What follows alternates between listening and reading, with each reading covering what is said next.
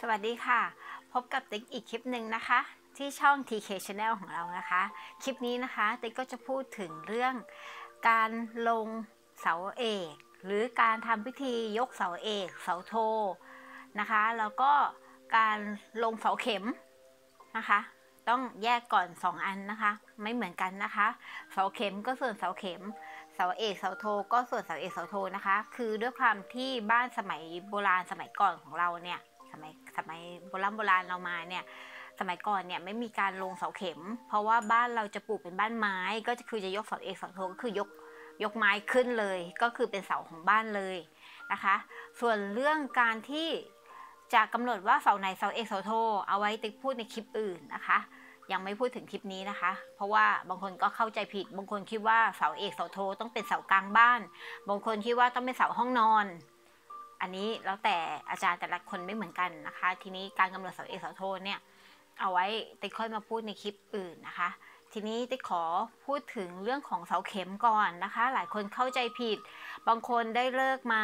ไปได้เลิกจากที่ไหนมาก็แล้วแต่แหละ ทีนี้ก็มาถามติ๊กมาบอกติ๊กว่าเออได้เลิกลงเสาเข็มมา วันที่เท่านี้วันเดือนปีเวลาเท่านี้เสร็จแล้วเขาก็มาถามติ๊กว่า แล้วเสาเข็มกับเสาเอกเสาโทเหมือนกันไหมอะ อันนี้คือต้องตอบก่อนนะคะว่า แต่ละอาจารย์แต่ละศาสตร์แต่ละตำราไม่เหมือนกัน ทีนี้ต้องกลับย้อนกลับไปถามอาจารย์ท่านนั้นนะคะที่ให้เลิกมาว่าเลิกเนี่ยมันคือเสาเข็มใช่ไหมไม่ใช่เสาเอกเสาโทของบ้านนะคะ เสาเข็มคือการก่อสร้างเริ่มแรกของของช่างผู้รับเหมาอะค่ะของการก่อสร้างอะคือเขาจะลงเสาเข็มเป็น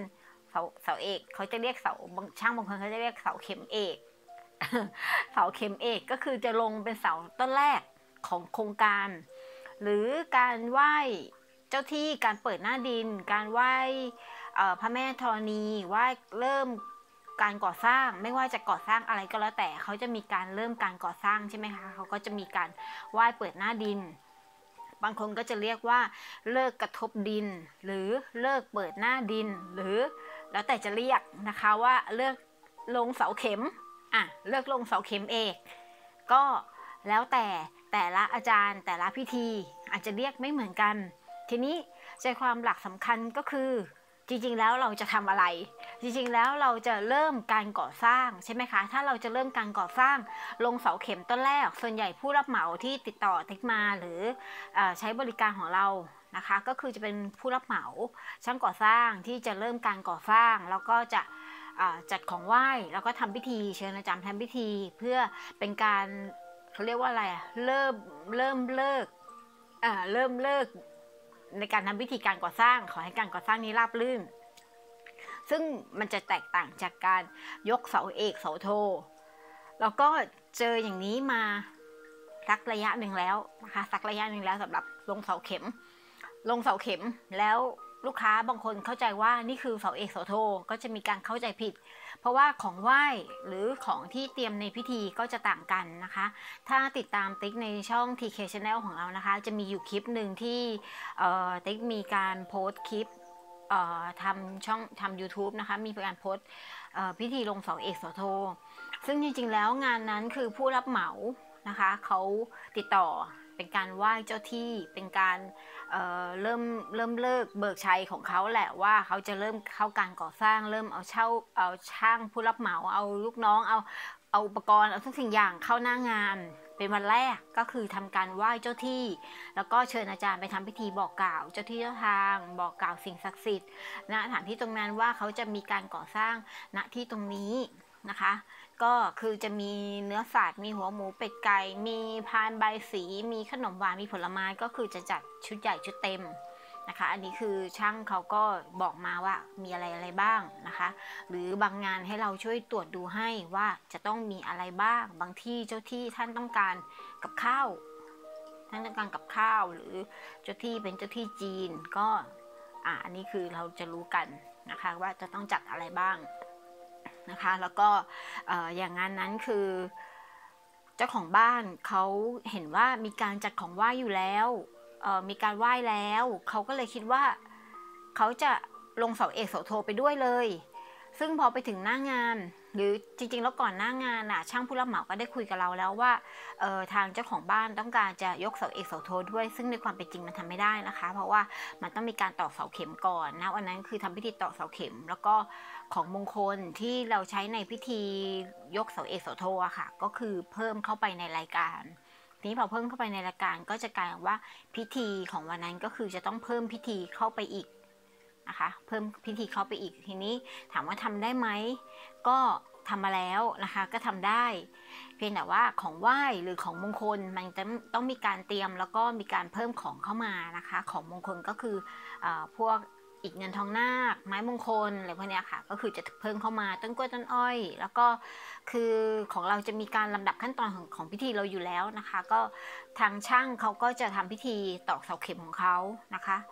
ทีนี้การตอกเสาเข็มเนี่ยแต่ละที่ก็บางที่ตอกต้นเดียวบางที่ตอกสองต้น บางที่คือด้วยความที่เขาเรียกว่าอะไรอะความความลึกของดินอะความนิ่มความลึกของของอาคารอะไรเงี้ยเขาก็ต้องมีการ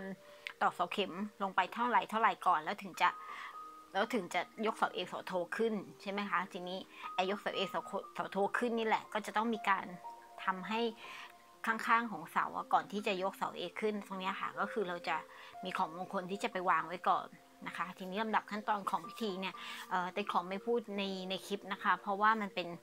ขั้นตอนลำดับของเราเองนะคะถามว่าทำได้ไหมก็ตอบว่าทำได้นะคะ แล้วก็ของมงคลที่ใช้ในพิธีลงเสาเข็ม ลงเสาเข็ม ก็ส่วนลงเสาเข็ม ยกเสาเอก ก็ส่วนยกเสาเอกนะคะ ถ้าถามว่าทำได้ไหมก็คือตอบว่าทำได้นะคะ แล้วก็อันนี้ต้องคุยเป็นกรณีพิเศษแต่ละเคสแต่ละเคสไปนะคะ เพราะว่าส่วนใหญ่แล้วก็จะแยกกัน เพราะว่าถ้าลงเสาเข็มก็จะเป็นเรื่องของผู้รับเหมาของช่างก่อสร้างนะคะ แล้วก็ส่วนยกเสาเอกเสาโทบ้านก็จะเป็นเรื่องของเจ้าของบ้านนะคะ แล้วถ้าถามว่าทำพร้อมกันได้ไหมทำพร้อมกันได้นะคะ แล้วก็ แต่ต้องต้องทำความเข้าใจกันก่อนนะว่าว่าคือพิธีอะไรนะคะ ต้องคุยกันก่อน แล้วก็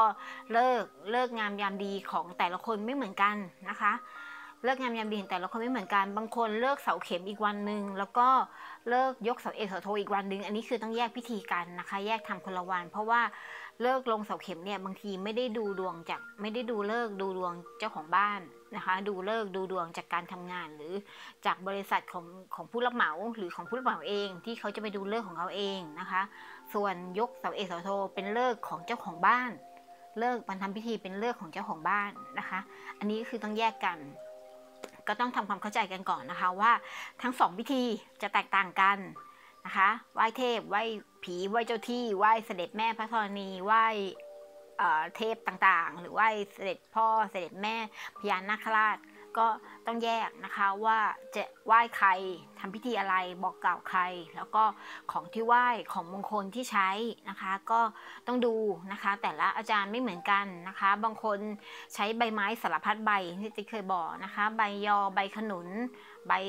สารพัดใบอะค่ะ ใบมะลุมอะอย่างเงี้ยค่ะ แต่ว่าอย่างของเราก็คือใช้ใบเงินทองนาคอีกเงินทองนาคไม้มงคล แผ่นเงินทองนาคอย่างเงี้ยค่ะ ก็คืออันนี้คือพิธีลงเสาเอกของเรา นะคะ แล้วก็ส่วนที่จะลงเสาเข็มก็ค่อยมาว่ากันว่าจะทำอะไรไงบ้าง เพราะว่าอย่างลงเสาเข็มจริง ๆ แล้วของเราก็จะใช้เป็นอาจจะเรียกว่าเป็น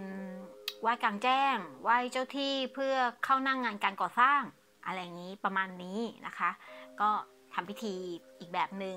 นะคะ ยกเสาเอเสาโทก็ทำพิธีอีกแบบหนึ่งนะคะ คลิปนี้ติ๊กก็ขอจบเท่านี้นะคะ เป็นการอธิบายเรื่องของการลงเสาเข็มกับการยกเสาเอโสโทนะคะ แล้วก็ทำความเข้าใจกันว่าคลิปที่เราเคยลงไปแล้วมีอยู่งานสองงานนี่แหละค่ะที่พูดถึงเรื่องการลงเสาเข็มแล้วบางคนมองว่าเอ๊ะนี่มันลงเสาเข็มนี่นามันไม่ใช่ยกเสาเอโสโทอ่าก็เลยจะบอกว่ามันเป็นการรวมกันทั้งสองพิธีในวันเดียวกันนะคะ ส่วนความเชื่อของใครจะเป็นแบบไหนยังไง ก็เอาไว้ติดต่อ คุยเป็นการส่วนตัวได้นะคะในในไลน์แล้วก็ตามตามเพจของเรานะคะ ที่เข้าไปคุยได้นะคะ คลิปนี้ติ๊กก็ขอจบเท่านี้นะคะ ก็ฝากกดไลค์กดแชร์ กดติดตามเป็นกำลังใจให้กันด้วยนะคะ สวัสดีค่ะ